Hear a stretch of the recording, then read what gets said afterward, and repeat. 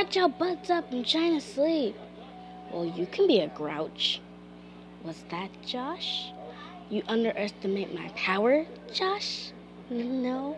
Then go your butts to bed!